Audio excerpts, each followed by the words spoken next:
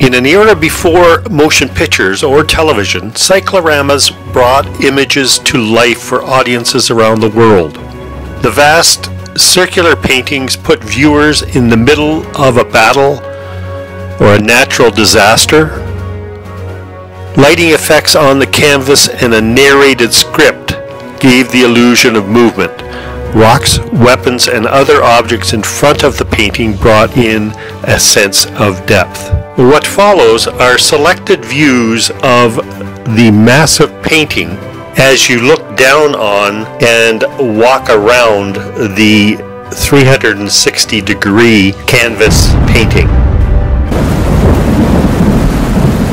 The massive Gettysburg cyclorama painting can be viewed at the Visitor Center in the Gettysburg National Military Park.